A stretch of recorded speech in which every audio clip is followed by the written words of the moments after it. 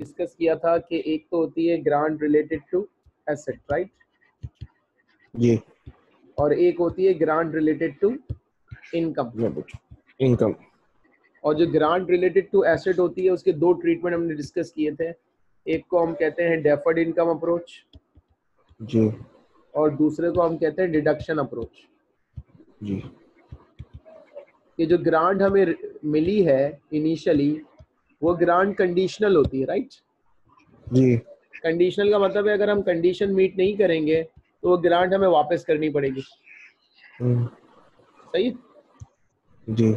अच्छा deduction approach करनी थी आज हमें। तो डिडक्शन अप्रोच में जो ग्रांट हमें मिलती है उसको हम सेपरेटली इनकम रिकॉर्ड नहीं करते। डेफर्ड इनकम अप्रोच में जो हमें ग्रांट मिलती है उसको हम हर साल इनकम रिकॉर्ड करते हैं। लेकिन डिडक्शन अप्रोच में जो हमें ग्रांट मिलती है उसको कैसे रिकॉर्ड करते हैं? लेट्स सी तो मैं एज्यूम कर लेता हूँ कि हमें ग्रांट रिसीव हुई एक लाख पचास हज़ार की। सही है? हम्म, और इसकी डेट थी फ़र्स्ट जनवरी सेवनटीन और हमने एक एसेट एक्वायर किया।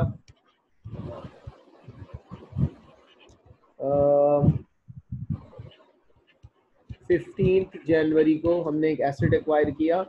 थ्री हंड्रेड थाउज़ेंड ओके तो ये यूजफुल लाइफ जो है हमारी एसेट की है वो है पाँच साल। हाँ।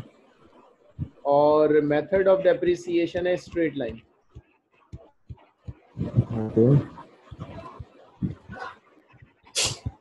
अगर हम डेफर्ड इनकम अप्रोच इस्तेमाल करते हैं तो हमने लास्ट टाइम उसकी एंट्रीज पे बात कर ली थी। हम्म, अब अगर मुझे डिडक्शन अप्रोच बनानी है तो पहली एंट्री में रिकॉर्ड करूँगा ग्रांट रिसीव होने की ठीक है? हाँ। तो ग्रांट कितनी रिसीव हुई? एक लाख सही है। ग्रांट को मैंने डेबिट किया और लाइबिलिटी को क्रेडिट कर दिया। ओके। लेकिन मैं जो अप्रोच इस्तेमाल कर रहा हूँ उसमें डेफर्ड इनकम अप्रोच नहीं इस्तेमाल कर रहा मैं। मैं डिडक्शन अप्रोच इस्तेमाल कर रहा हूँ ठीक है? ये बात जहन में रहे। फिर मैंने एसेट एक्वायर किया। थ्री हंड्रेड थाउज़ेंड का क्या एंट्री पास होगी। Asset to cash asset to cash entry pass हो गई सही है? जी। अब डिडक्शन अप्रोच का मतलब ये देखो अगर हमने 300,000 का एसेट एक्वायर किया है और गवर्नमेंट ने हमें 150 दिया है तो। अल्टीमेटली एसेट 150 का हुआ ना? जी। तो डिडक्शन अप्रोच में हम क्या करते हैं? हम एसेट की वैल्यू को कम कर देते हैं। सर हम लोग इन्हें क्या बोलते हैं गवर्नमेंट अब ग्रांट में था एक एक लाख पचास हज़ार का ना एसेट तो वाले था थ्री लाख हाँ तो इसका मतलब ये हुआ कि हमें एसेट के अगेंस्ट 150 की सपोर्ट तो गवर्नमेंट ने दे दी ना। हाँ। तो हमारी पॉकेट से एसेट की कॉस्ट कितनी गई? वन फिफ्टी गई। तो ये डिडक्शन अप्रोच में हम एसेट की वैल्यू को कम कर देते ओके जब एसेट क्रेडिट हुआ तो एसेट की वैल्यू बुक्स में कितनी हो गई? थ्री थ्री हंड्रेड थाउज़ेंड थी। फिर हमने एसेट को क्रेडिट कर दिया तो एसेट तो 150 पे आ गया ना? हाँ। इसका मतलब है डेप्रिसिएशन किस पे चार्ज होगा? 300 पे या 150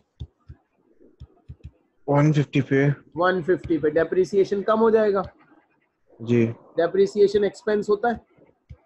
जी होता है। एक्सपेंस कम होने का मतलब इनकम जी। सही है? जी सर ये इनडायरेक्टली इनकम रिकॉर्ड हो रही है। ये क्या रिकॉर्ड हो रही है? इनडायरेक्ट इनडायरेक्टली इनकम रिकॉर्ड हो रही है। वहाँ पर ग्रांड इनकम डायरेक्टली रिकॉर्ड होती थी यहाँ पर ग्रांड इनकम इनडायरेक्टली रिकॉर्ड हो रही है। ओके इनकम कैसे रिकॉर्ड हो रही है? रिड्यूस डेप्रिसिएशन की फॉर्म में। सही है? जी। अगर ये ग्रांट नहीं मिलती तो एक साल का डेप्रिसिएशन कितना होता?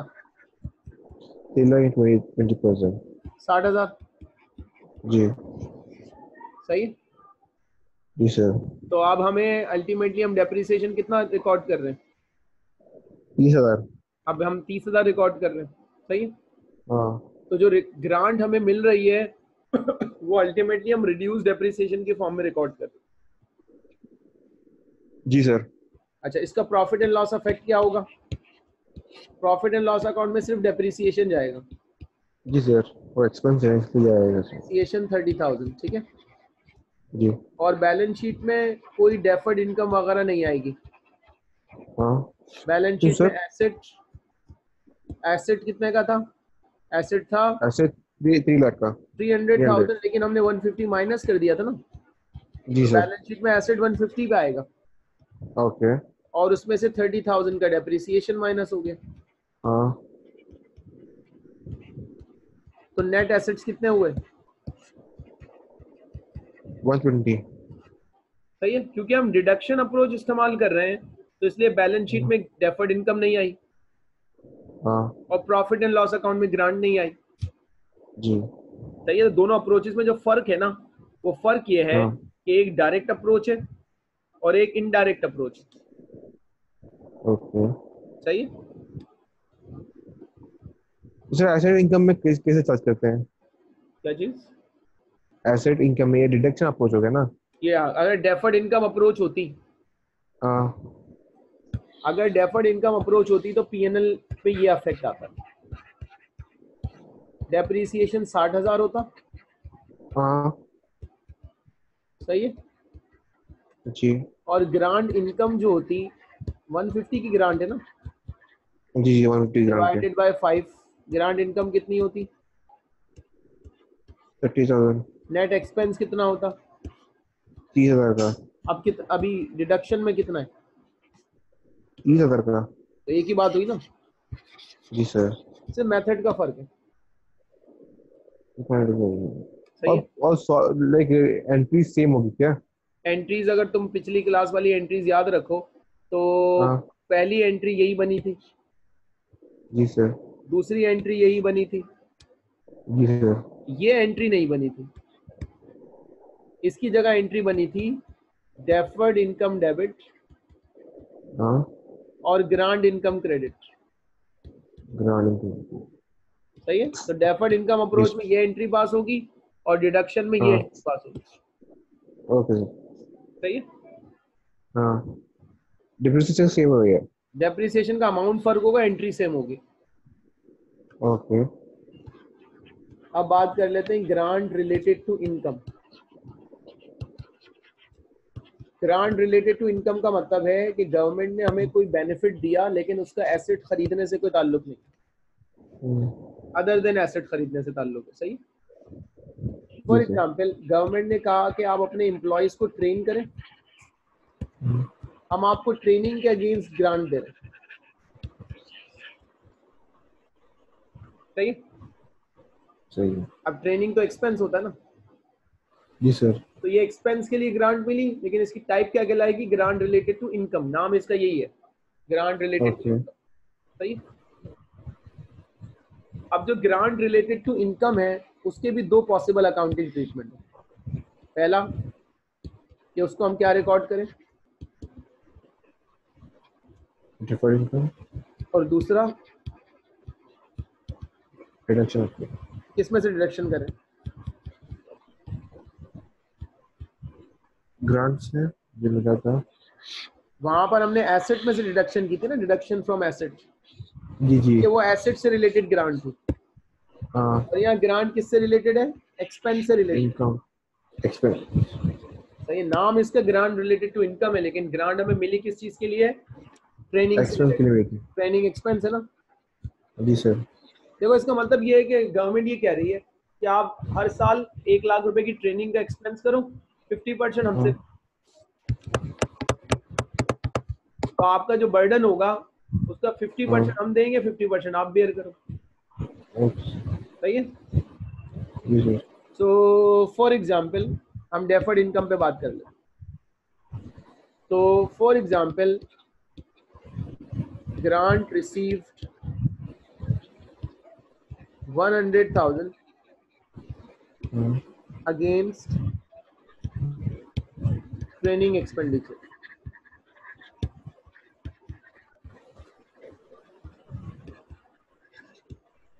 सही है जी sir training cost incurred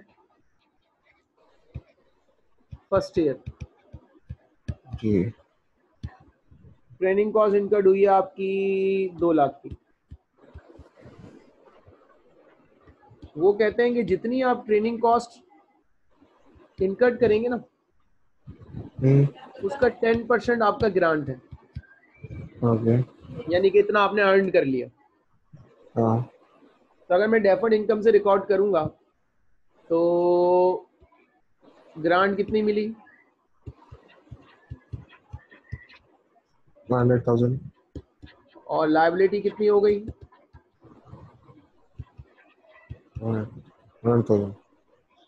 ये वही एसेट वाली एंट्री है। डेफर्ड इनकम जो वहाँ हमने रिकॉर्ड की थी वैसे ही रिकॉर्ड कर रहा हूँ। ओके अच्छा दूसरी एंट्री होगी एक्सपेंस इनकट करने की। तो ट्रेनिंग कॉस्ट हमारी कितनी इनकट हुई है? टू हंड्रेड थाउज़ेंड ये एक्सपेंस में चला जाएगा? जी sir cash credit two hundred thousand government ने कहा है कि आपने जो ट्रेनिंग कॉस्ट इनकट करनी है उसके अगेंस्ट आपको हम टेन परसेंट दे रहे हैं। तो टू हंड्रेड थाउज़ेंड का टेन परसेंट कितना हुआ? ट्वेंटी थाउज़ेंड तो डेफर्ड इनकम कितनी रियलाइज़ हो गई? और इसको हम प्रॉफिट एंड लॉस अकाउंट में डाल देते हैं। ओके। ये एंट्रीज कंप्लीट हो गई।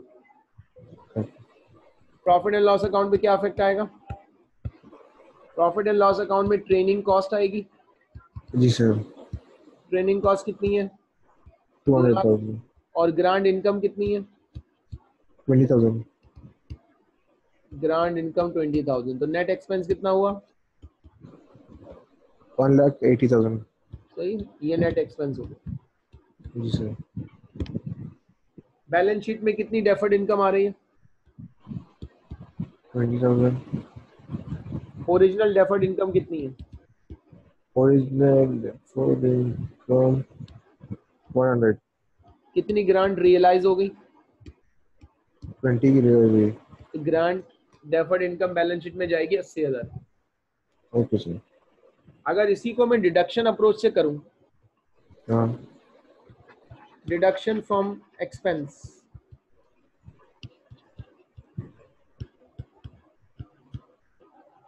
सर लोग मैटर मेंशन करेंगे क्वेश्चन पे लाइक डिडक्शन अप्रोच या वैसे देखो अब तक mention करेंगे। हाँ वैसे अब तक ग्रांट के ऊपर ना कोई एक दफ़ा एक अटेम्प्ट के अंदर आई एस सिक्सटीन के साथ मिक्स होकर आया था वरना ग्रांट के ऊपर हाँ। सच कोई बहुत बड़ा ज़बरदस्त किस्म का सवाल नहीं आया ग्रांट के ऊपर एक हम्म। छोटी मोटी एडजस्टमेंट आ जाती है तो एग्जामिनर हाँ। एफ़ सेवन का कभी ग्रांट के ऊपर इतना डिटेल में गया नहीं एक सेक्शन ये में या हाँ लेकिन एमसीक्यूज दे सकता है वो कौन टाइप पे चीज़ सेक्शन लाइक किस कि, किस टाइप पे दे सकता है?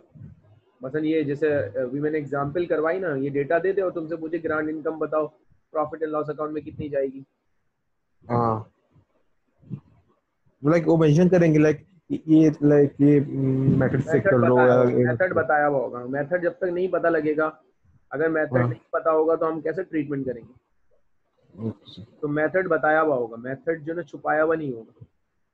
ओके ओके सही है। जी सर। अच्छा अल्लाह आपका भला करे। तो अगर हम डिडक्शन फ्रॉम एक्सपेंस मेथड से चलते हैं हम्म, तो उसके अंदर हमारा just a minute one minute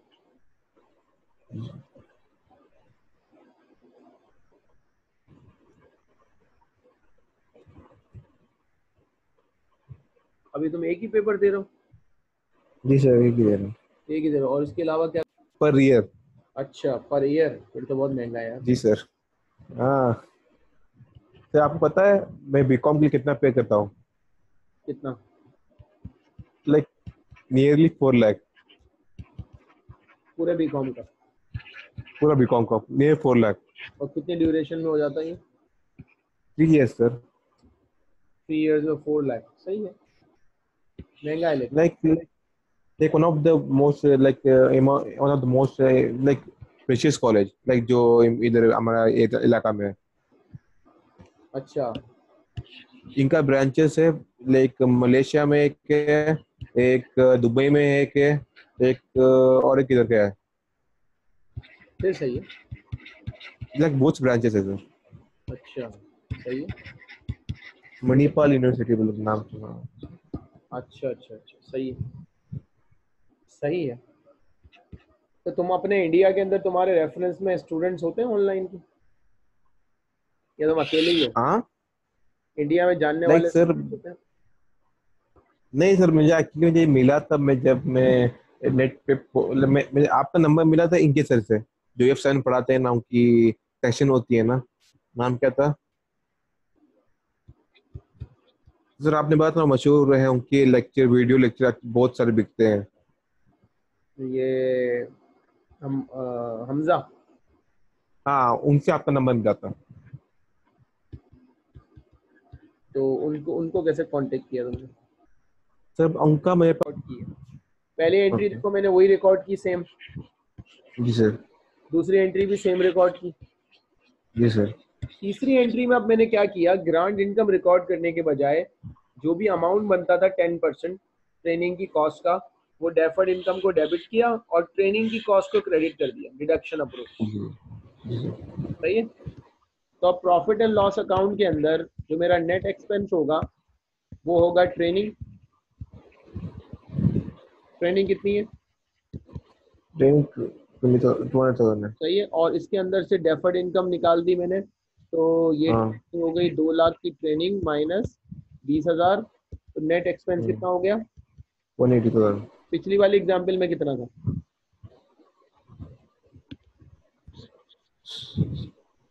one eighty था अब कितना आया? वन एटी आया इसका मतलब है दोनों अप्रोच में आंसर में कोई फ़र्क नहीं पड़ रहा। नेट आंसर वही है सही है? अब जैसे अगर फाइनल अकाउंट का सवाल आता है ना तो फाइनल अकाउंट में अगर वो कहता है कि यार ग्रांट हमने डेफर्ड इनकम अप्रोच इस्तेमाल की है और इस साल की जो ग्रांट इनकम है वो अब तक रिकॉर्ड नहीं हुई। हाँ। तो आपको पता होना चाहिए डेफर्ड इनकम डेबिट हो जाएगी ग्रांट इनकम क्रेडिट हो जाएगी। डिफरेंट इनकम डेबिट हो जाएगी और एड इनकम ओके यही एंट्री पास की ना हमने डेफर्ड इनकम अप्रोच में। तो अब इसका अफेक्ट हम प्रॉफिट एंड लॉस अकाउंट में ले जाएँगे ग्रांट इनकम को हम प्रॉफिट एंड लॉस अकाउंट में डाल देंगे। ओके तो फाइनल अकाउंट का जो सवाल आता है ना हाँ स्टूडेंट जो ना वो इसलिए प्रॉब्लम में फंसते हैं कि उन्हें हर आईएएस की एडजस्टमेंट का अफेक्ट नहीं पता होता।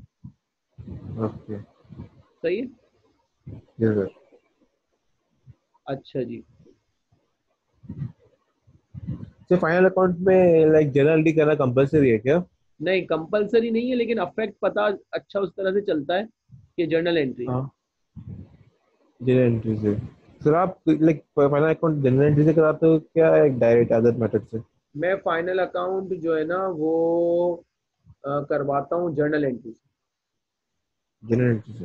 हाँ जर्नल एंट्री से करवाता हूँ और फिर जर्नल एंट्री पहले करवाता हूँ ताकि क्लियर हो जाए कि जो आई उसने पढ़ा था उसकी अल्टीमेट पहचान हो जाए उसे और उसके बाद उसके हाँ। अफेक्ट डाल दे उसके। जर्नल एंट्री समझाने के लिए तो जनरल एंट्री का मेंशन नहीं क्या चीज़? लाइक इसमें है ना सर क्या बोलते हैं? किट में तो जनरल एंट्री का मेंशन नहीं है। हाँ लेकिन जर्नल एंट्री से अकाउंटिंग अच्छी हो जाती है। और उससे डायरेक्ट करने से लाइक मुश्किल कौन सा है? प्रॉब्लम नहीं डायरेक्ट करने से भी हो जाती है। हो जाती है? हाँ हो जाता है। जैसे हमने कैश Okay. फ्लो में कौन सी जर्नल एंट्री पास की? डायरेक्ट डायरेक्ट हाँ? कैश फ्लो में तो हमने टी अकाउंट इस्तेमाल की। जी सर सही? टी अकाउंट किया था हम लोग ने। हाँ। चलो खैर। अच्छा देखो या ये यूजुअली एफ़ सेवन में आता नहीं है लेकिन हाँ। दिया हुआ है रीपेमेंट ऑफ़ गवर्नमेंट ग्रांट जी सर। कंडीशन वायलेट हो गई। हाँ। गवर्नमेंट ने हमें कहा था पाँच साल तक एसेट को इस्तेमाल करना हमने एक साल के बाद एसेट बंद कर दी हाँ। तो हमें ग्रांट रीपे करनी पड़ेगी। जी सर। तो ग्रांट रीपेमेंट का अकाउंटिंग ट्रीटमेंट क्या होगा? फॉर एग्ज़ाम्पल हमें ग्रांट रिसीव हुई थी दो लाख की ठीक है? और हमने उस दो लाख को कहा रिकॉर्ड किया? डेफर्ड इनकम में डाला। एक साल गुजरा तो हमने डेफर्ड इनकम के अंदर ग्रांट इनकम बुक कर ली फोर्टी थाउज़ेंड की तो रिमेनिंग डेफर्ड इनकम कितनी बची? One lakh sixty one lakh sixty अब कंडीशन वॉयलेट हो गई। जी। तो गवर्नमेंट ने कहा कि जी हम आप हमें दो लाख की ग्रांट वापस करें। हाँ। पूरी ग्रांट वापस करें। जी। अब इस रीपेमेंट की क्या एडजस्टमेंट होगी? एंट्री क्या पास होगी? गवर्नमेंट को हमें दो लाख वापस कर जी। तो कैश जाएगा? जी क्या जाएगा कैश क्रेडिट कर दूँ? जब मैंने गवर्नमेंट को कैश वापस कर दिया तो ये जो लाइबिलिटी के पास रखी हुई है लाइबिलिटी खत्म हो जाएगी। खत्म हो जाएगी। लाइबिलिटी खत्म करने के लिए डेबिट होता है। समझ में आ रही है एंट्री जी समझ आ रही है। कैश गया कैश क्रेडिट लाइबिलिटी। खत्म हुई लाइबिलिटी डेबिट ओके डिफरेंस आ गया एंट्री में। जी आ रहा है डेबिट साइड पर आ रहा है। जी। इसको प्रॉफिट एंड लॉस अकाउंट में डाल देंगे कि डिफरेंस आएगा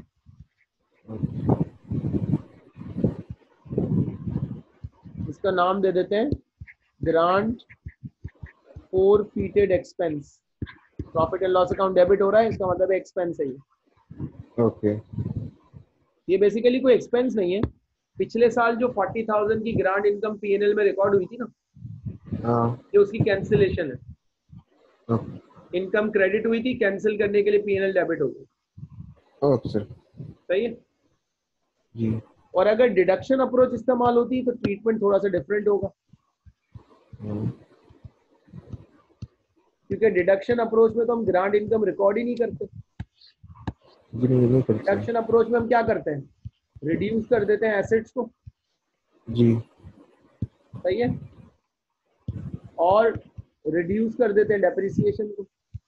जी। तो अगर गवर्नमेंट हमसे ग्रांट वापस मांगती है तो अब क्या होगा? तो सबसे पहले तो हम क्या करेंगे? पहले पहली अकाउंटिंग एंट्री पास होगी हम एसेट को इंक्रीज कर देंगे। हम्म, एसेट को हमने डिक्रीज किया था ना? सर तो एसेट को हम इंक्रीज कर देंगे। तो एसेट को इंक्रीज करेंगे तो क्या एंट्री पास होगी?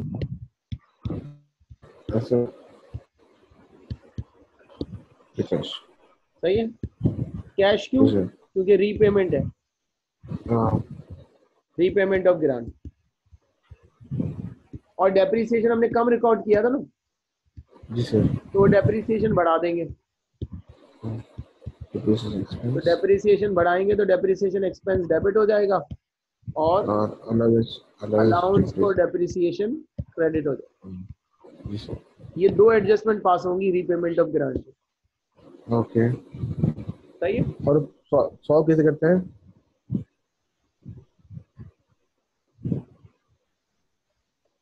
बस इसका प्रॉफिट एंड लॉस अकाउंट और बैलेंस शीट में दिखा देंगे। हाँ। बैलेंस शीट में एसेट बढ़ जाएगा जी सर। और प्रॉफिट एंड लॉस अकाउंट में डेप्रिसिएशन बढ़ जाएगा। जी सर। सही है? अच्छा ग्रांट की कोई एडजस्टमेंट कैश फ्लो में नहीं आई? हाँ। तो कैश फ्लो के अंदर अगर ग्रांट आती है तो ग्रांट का हाँ। ट्रीटमेंट ऑपरेटिंग में होगा इन्वेस्टिंग में होगा या फाइनेंसिंग में होगा? सर गवर्नमेंट ग्रांट तो होता है सर ऑपरेटिंग में। देखो ऑपरेशन में हम क्या करेंगे? Grant income profit and loss account में ऐड हुई हुई होगी ना? जी सर। तो ऑपरेशन में उसको डिडक्ट कर देंगे। Okay okay. प्रॉफिट में से माइनस कर देंगे। जी सर। सही है। जी सर और दूसरा ऑप्शन क्या होगा इसको इन्वेस्टिंग एक्टिविटी में दिखा देंगे।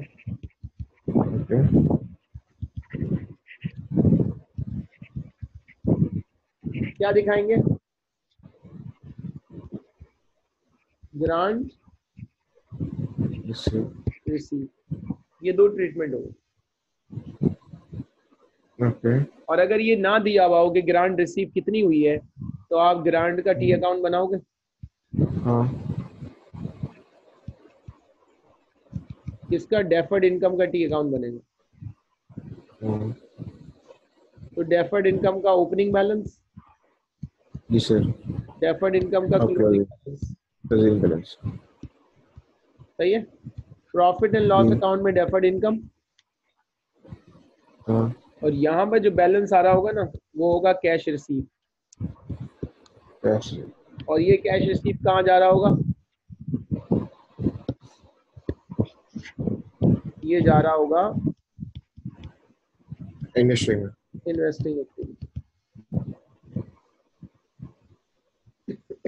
profit and loss में क्या होगा दिया होगा? डिफर्ड इनकम दिया होगा? ग्रांड इनकम ग्रांड सही है जी sir.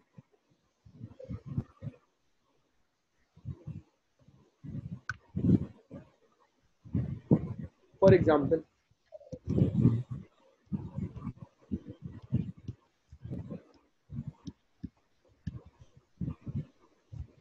deferred income दी हुई है हाँ। Deferred income one hundred thousand थी।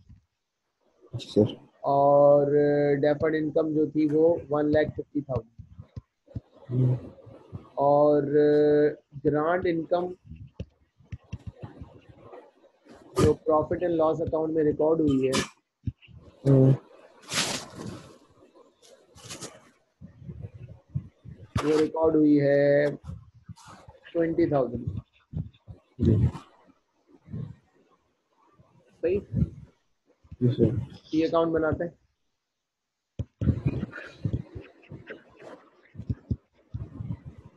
Opening balance ten thousand opening balance one hundred thousand one fifty thousand closing balance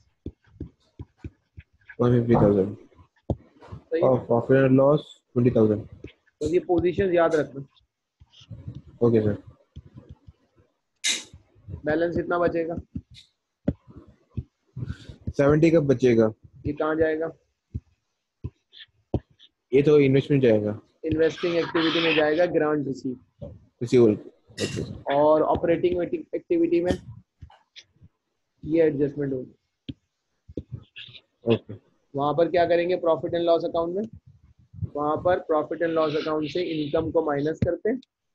और इन्वेस्टिंग एक्टिविटी में कैश रिसीव हुआ वहाँ पर इन्वेस्टिंग एक्टिविटी में दिखाते ओके सर सो ये हमारा जो है वो ग्रांट का टॉपिक हो गया।